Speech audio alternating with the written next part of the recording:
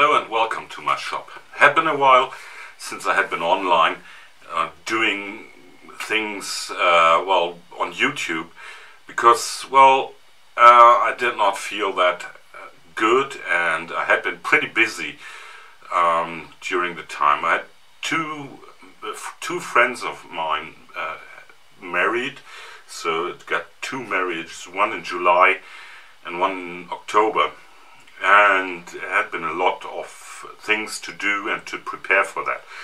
Okay, uh, with that said, I got some, well, I had been doing some things, and actually I turned uh, wet bowls, and still got one here in the shavings, and had no idea how to reverse mount that to finish these bolts, well, to get something useful out of it. Well, this is right now for, well, it had been from July and it's pretty out of round. So I had no idea how to reverse mount that. Okay, um,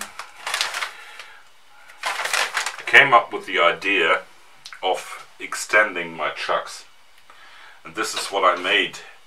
You see that closer uh, while I build this. I show you how I built this and actually this works great as this is the result the first result from it. I don't know whether you can see that but I'm actually really really happy with these uh, with this bowl here. Okay with that said uh, I hope to come back regular on a regular basis now. Um, I'm trying to get some support for my channel. I put up a Patreon page, uh, leave the link down in the comment. And uh, with that said, mm, I hope you enjoy how I made this and you get some inspiration from it to uh, actually work with what you've got. Okay, just one description. This is made out of scrap piece of um, Baltic birch plywood. And I got some threaded inserts here to move the anchor points.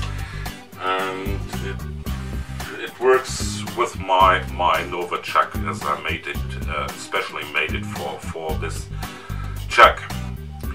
With that said, I hope uh, to see you another episode of Thank God it's Friday.